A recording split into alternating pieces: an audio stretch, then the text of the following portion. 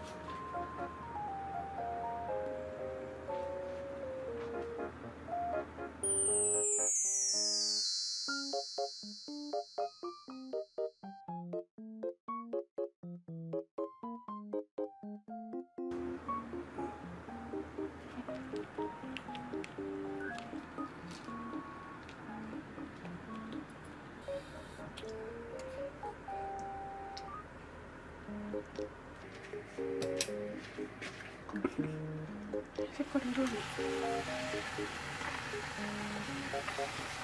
색깔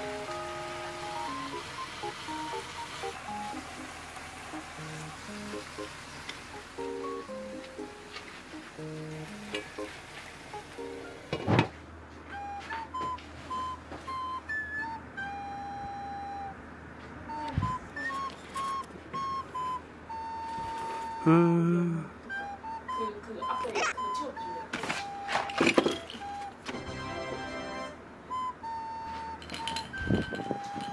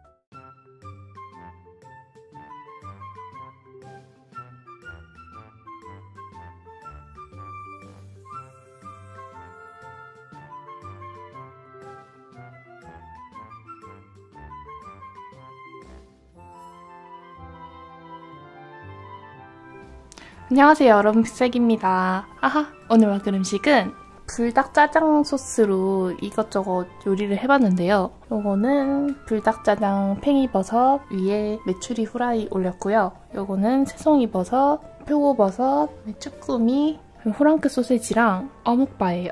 여기 양옆에 짜장라면도 준비했고요. 파김치도 같이 먹으려고 이렇게 놓았어요.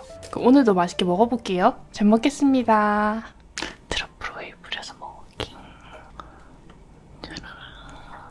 오